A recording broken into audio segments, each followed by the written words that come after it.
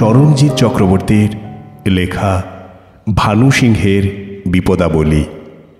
ভানু সিংহের বিপদাবলী সরঞ্জিৎ চক্রবর্তীর লেখা।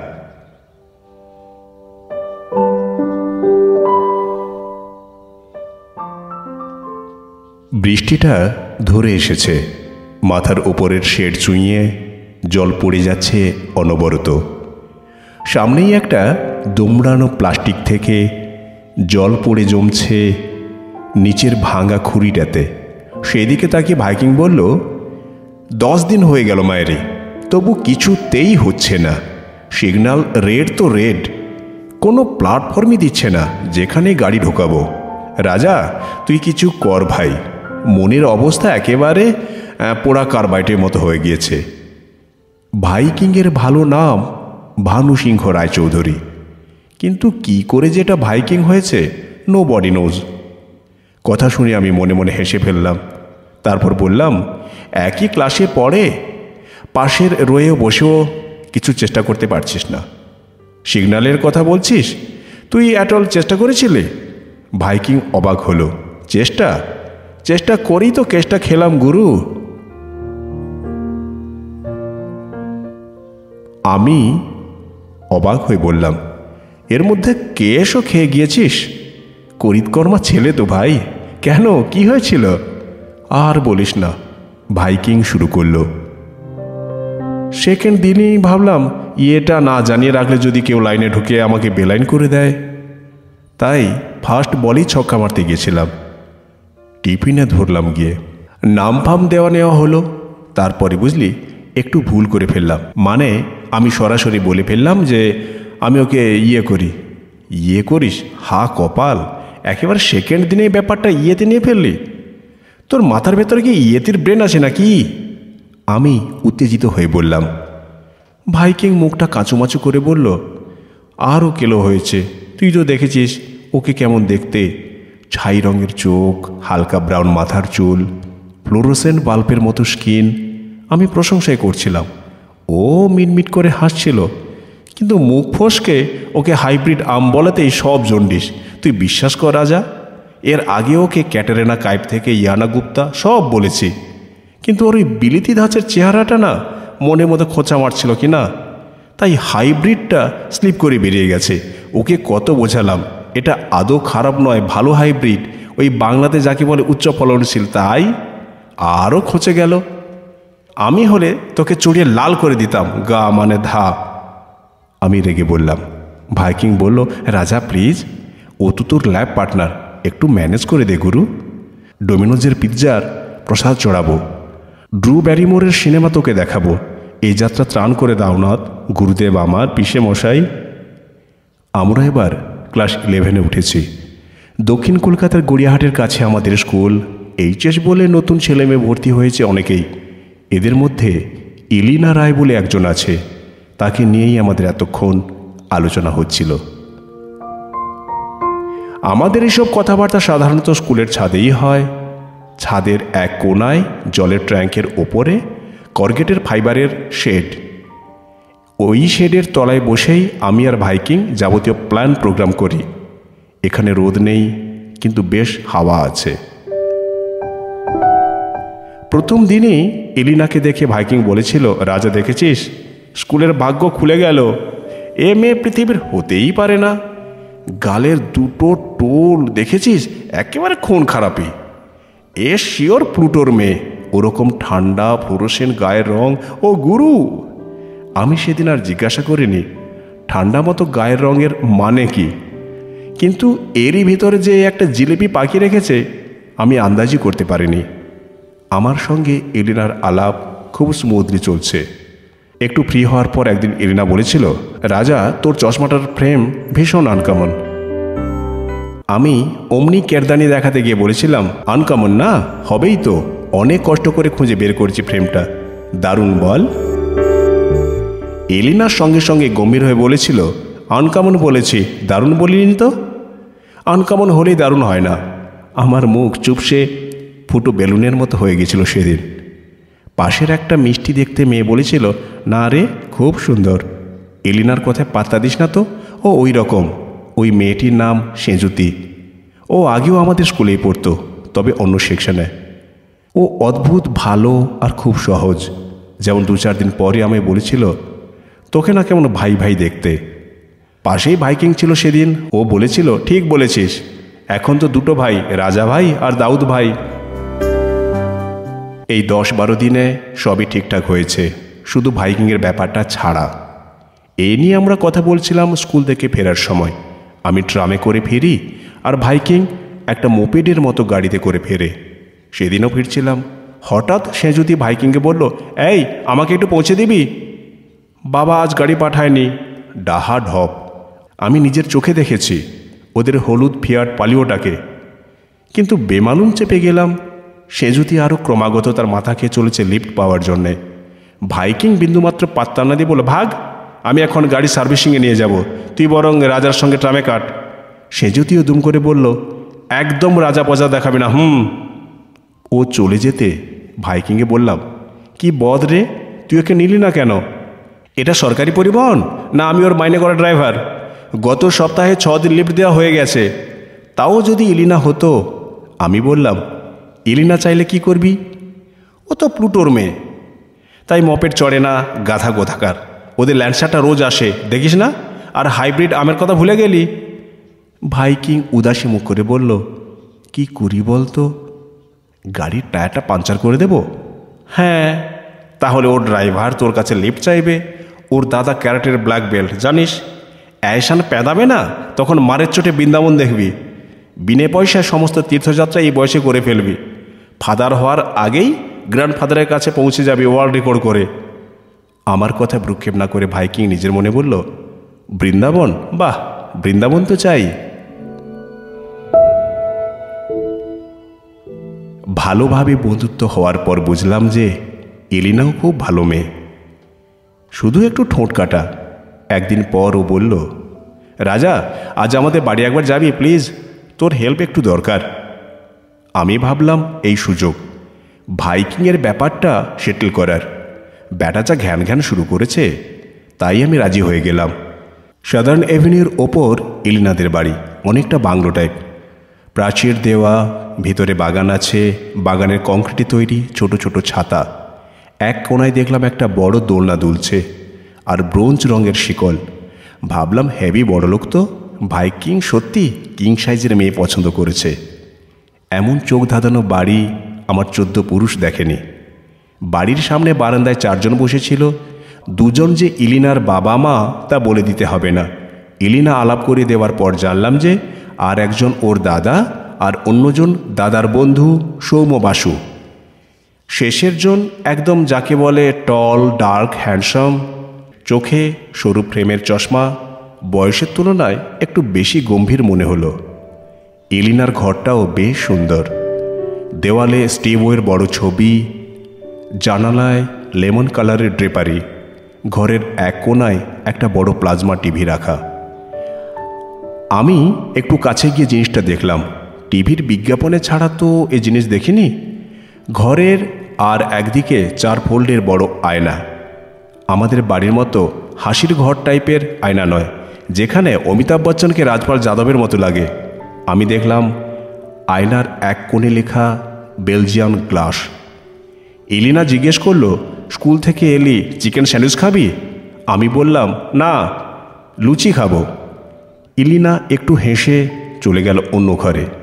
আমি মনে মনে ছক কষতে থাকলাম, ভাইকিংয়ের এই হাইব্রিড কীভাবে লো ব্রিড করা যায়? এর মধ্যেই ইলিনা ফিরে এলো, রাজা, একটা হেল্প করবি? আমি বললাম, করব। কিন্তু আমারও একটা কথা শুনতে হবে। এলিনা চোখ ছোট করে মাথার ব্যান্ডটা খুলে টেবিলে রাখতে রাখতে বলল, শুনব, তবে আমার আটটা অঙ্ক করে দিতে পারলে তবেই। ও অঙ্কগুলো এগিয়ে দিল আমার দিকে, তারপর বলল, সব কটা সলভ করে দে। তাহলে যা বলবি শুনব। ওরে বাবা, এ যে এপি, জিপি আর সার্চের অঙ্ক, মনে মনে খুব গাল দিলাম ভাইকিংকে। ওর কেস সামলাতে গিয়ে আমার ঝাড় হচ্ছে। যাই হোক, এক ঘণ্টার ধস্তাধস্তিতে মাত্র ছটা অঙ্ক হলো। ইতিমধ্যে ফরমাইশ মতো লুচি, আলুর দম, মিষ্টি এসে গেল, শুতেই পারিনি। আমি শেষে দু হাত তুলে বললাম, দুটো কিছুতেই হচ্ছে না, ডেটায় গণ্ডগোল আছে শিওর। ইলিনা হাসল। আমি বললাম, তবে কথাটা বলি? ইলিনা মাথা নাড়ল হুম, আটটা না হলে কোনো কথা নয়। আমি চুপ করে গেলাম। ভাবলাম, জাগে, ভাইকিং ভ্যান্ডাল হয়ে থাক, আমি লুচি সাঁটাই। চলে আসার সময় ইলিনা গেট অবধি ছেড়ে দিল আমায়। বারান্দায় এখন আর কেউ নেই। সন্ধে হয়ে গিয়েছে। ইলিনা বলল, রাজা, ভাইকিংকে বলিস, অন্যের কাঁধে বন্দুক রেখে চালানো যায় না। ওই যে দাদার বন্ধুকে দেখলি? আইআইটিতে ইলেকট্রনিক্স ইঞ্জিনিয়ারিং পড়ে। প্রতি সপ্তাহে একবার আসে এখানে, বুঝতেই পারছিস? কাল ওর সঙ্গে ডিস্কে যাওয়ার কথা আছে। ও যে চিঠি লিখে আমায়, তাতে পৃথিবীর সব প্রেমের কবিতা পেয়ে যাবি তুই, বুঝলি? আমি বললাম, বুঝলাম। তোরও কি ওকে ভালো লাগে? ইলিনা হাসলো, বলল, চশমা পরা মানুষ আমার ভালো লাগে। এবার যা যা মেঘ হয়েছে, বৃষ্টি হতে পারে। আমি বেরিয়ে পড়লাম। বেশ হাওয়া দিচ্ছে, কিছু ঝরা পাতা আর ছেঁড়া প্লাস্টিক উল্টোপাল্টাভাবে উঠছে সারা রাস্তায়।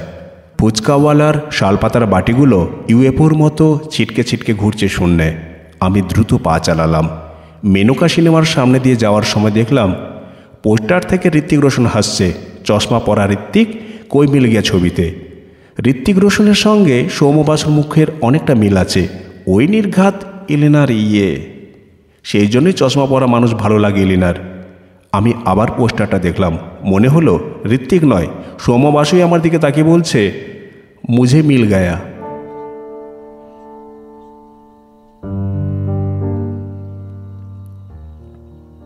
কাকা, তুমি খরচের খাতায় ইঞ্জিনিয়ার ছেলের সঙ্গে টক্কর পারবে? তার চেয়ে ওয়াগ ওভার দিয়ে দে, নয়তো বাংলাদেশে ক্রিকেট টিমের মতো অবস্থা হবে, বুঝলি? সামনেই ফেস্ট, তুই বরং সেদিকে মন দে। আজও। আমরা স্কুলের ছাদে বসে আছি। ফেস্টের জন্যে ক্লাস আগেই ডিজলভ হয়ে গিয়েছে। আজ আকাশে মেঘ নেই একদম। দূরে দক্ষিণাপনের কাছে ইন্ডিয়ান অয়েলের বোর্ড দেখা যাচ্ছে। অনেক অনেক উঁচু দিয়ে উড়ে যাওয়া একটা রূপলি এরোপ্লেন আকাশের গায়ে সাদা টুথপেস্টের মতো ধোঁয়া লাগিয়ে দিয়েছে। ভাইকিং সেদিকে তাকিয়ে বলল, আমিও ইঞ্জিনিয়ার হব। আমি বললাম, ততদিনে সৌম স্টেটসে আমিও স্টেটসে যাব। ভাইকিং গম্ভীর হয়ে গিয়েছে। আমি আবার বললাম, ততদিনে হয়তো সৌম্য কোনো মাল্টি ন্যাশনালে ষাট সত্তর হাজার টাকার চাকরি করছে। আমি আশি নব্বই হাজার টাকার চাকরি করব। ভাইকিং একেবারে মরিয়া। আমি ওকে আরও রাগিয়ে দেওয়ার জন্য বললাম, ওরে নাড়ু, ততদিনে তোর সৌম্য আর ইলিনার সেকেন্ড জেনারেশন তোকে মামা ক্যাডবেরি খাব, মামা মিকি মাউস কিনবো বলে অস্থির করে তুলবে। ভাইকিং এবার একটু ভড়কে গিয়ে সিরিয়াসগুলো বলল, তবে উপায়? আমি বললাম, সরে পড়, এইচএস বেস্ট আপ সেদিকে মন দে। ইলিনা তোর জন্য নয়? ভাইকিং চোখ পাকিয়ে বলল, ইয়ার কি, শেষ না দেখে? সেজুদিকে দূর থেকে আসতে দেখে কথাটা বেমালুম চেপে গেল ও। সেজুদি বলল, কী রে নন্টে ফন্টে, কি হচ্ছে? ভাইকিং বুড়ুকুচকে বলল, তাতে তোর কি, ভাগ? দেখছিস না, আমরা জরুরি আলোচনা করছি। তোর আলোচনা? সে যদি মুখ বাঁকালো, সে তো শুধুই ভাঁট বকা। আলো চলে গিয়ে শুধু চনা পড়ে থাকে। তার চেয়ে বরং আমায় বাড়ি পৌঁছে দে, আজ আমার গাড়ি আসেনি। ইল্লি? আমি কি তোর পোষায় বিল্লি নাকি? ভাগ এখান থেকে। ভাইকিং একটা সেমি চিৎকার দিল। সে যদি হঠাৎ চুপ করে গেল, তারপর ছলছল চোখে তাকিয়ে বলল, দিবি না তো? ঠিক আছে। ও চলে যাওয়ার জন্য ঘুরে দাঁড়াতেই ভাইকিং বিরক্ত আর বিব্রত ভাব মিশিয়ে বলল, উফ, কি ঝামেলার বাবা। ঠিক আছে, চল। বলেই হনহন করে হাঁটা মারল। আমি অবাক হয়ে সে সেজুতুর দিকে তাকিয়ে ভুরু নাচিয়ে নিঃশব্দে প্রশ্ন করলাম, ব্যাপারটা কি? সেজুতি আমার কাছে এসে প্রায় ফিসফিস করে বলল, ভাইকিংকে তো আর ভাই ভাই দেখতে না?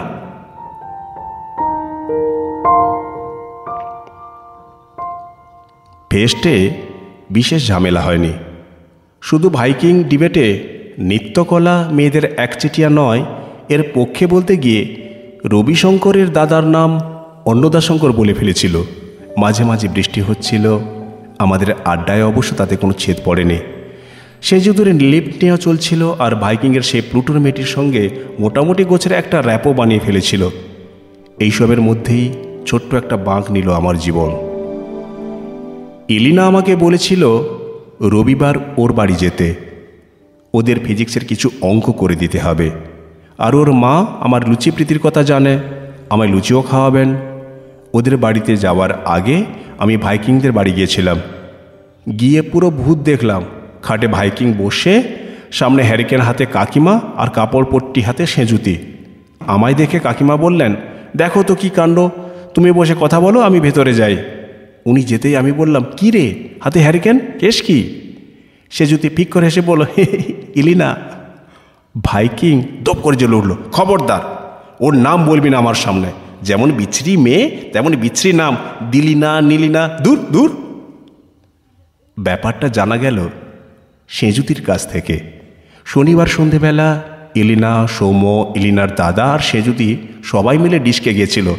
ভাগ্যক্রমে ভাইকিংও হাজির ছিল। ব্যাস, সৌম্যকে আইডেন্টিফাই করতে পেরেই ভাইকিং টং, যখন সবাই নাচছে তখন ভাইকিং এক গ্লাস কোল্ড ড্রিঙ্ক নিয়ে নাচতে নাচতে ঢেলে দিয়েছে সৌম্য বাসুর জামায় নিমেষে ডিস্ক কুরুক্ষেত্র। ভাইকিংও ফাটিয়ে দেব, লোপাট করে দেব বলে রং দেখাতে গিয়েছে। ব্যাস, ধস্তাধস্তিতে হাতের কোণের কাজটা মুচকে গিয়েছে। আরও ঝাড় খেত। স্রেফ সেজুতি গিয়ে বাঁচিয়েছে। আমি সব শুনে বললাম, এতে ইলিনার দোষ কই? দোষ কই? ও আমায় বাঁচালো না কেন? Selfish, ruthless, lady Macbeth? ঘর থেকে বেরিয়ে বাইরে জুতো পরতে পরতে শুনলাম সে যদি আস্তে আস্তে বলছে, অত নড়ছিস কেন? সেঁক দিতে দে না। ভাইকিং তার চেয়ে আস্তে আস্তে নরম গলায় বলছে, তখন থেকেই তো দিচ্ছিস। তোর কষ্ট হচ্ছে না? বাইরে এসে দেখি ঝলমলে আকাশটার অর্ধেকটা ধূসর রঙে ঢাকা। শরৎকালের এই এক বিপদ। তবে বাকি অর্ধেক আকাশ এখনও নীল। বৃষ্টি আসতে পারে ভেবে দ্রুত পা চালালাম। এলিনাদের বাড়িটা আজ একটু চুপচাপ। ইলিনা ওদের ব্যালকনিতে দাঁড়িয়েছিল আমায় দেখে নিচে নেমে এসে বলল, এত দেরি করলি যে? চল, ঘরে চল। আজ ঘরে এসি চলছে। একটা সুন্দর গন্ধ ভেসে বেড়াচ্ছে। কিসের গন্ধ কে জানে? এলিনা বলল, আগে অঙ্ক কর, তারপর লুচি খাওয়াবো।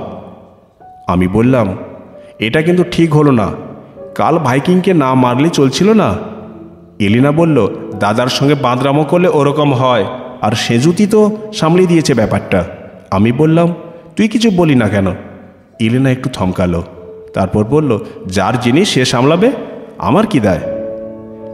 আমি বললাম, আসলে ভাইকিং একটু শর্ট টেম্পার্ড এমনিতেই কিন্তু দারুণ। খুব সফট নেচারের ছেলে, আর মনটাও খুব ভালো। তাছাড়া তুই তো দেখেছিস যে ভাইকিং হিউমারসটাও খুব মানে ওর প্যাকেজটাই ওই রকম very rare and uncommon kind of a boy Elina গম্ভীর হলো। তোর মনে আছে কিনা জানি না, তোকে একবার বলেছিলাম। আনকমন হলে কিন্তু দারুণ হয় না। আমি ওকে আশ্বস্ত করার জন্য বললাম, না না, ভাইকিংয়ের ঘোর কেটেছে। আর আমি তো ওকে বলে দিয়েছি যে তোর সৌম্য বাসুকে পছন্দ। এলিনা শখ খেলো যেন। সৌম্য, আমি? You must be out of your mind আমি ভেবাচাকা খেয়ে গেলাম। কেন? তুই যে বললি তোর চশমা পরা মানুষ, সৌম্য তোকে প্রপোজ, একসঙ্গে ডিস্কে যাওয়া, তো? এলিনা চিৎকার করল যেন। আর তুই তো জানিস, সৌম্য এখন কন্ট্যাক্ট লেন্স পরে। আমি আর চাপতে পারলাম না, জিজ্ঞেস করে ফেললাম। তবে কাকে ভালো লাগে তোর? ইলিনার চোখ দুটো নরম হইল হঠাৎ। হাসির সঙ্গে গালে জেগে উঠল দুটো টোল, খুন খারাপি। তারপর আস্তে আস্তে বলল, দেখ তোর পিছনেই দাঁড়িয়ে আছে। আমি চট করে পিছনে ঘুরলাম। একটা ড্রেসিং টেবিল, বড় বেলজিয়াম গ্লাসের আয়না, আর তার মধ্যে দাঁড়িয়ে আছে হালকা গোম ওঠা সতেরো বছরের এক হতবম্ব ছেলে। তার চোখে একটা আনকামন প্রেমের চশমা।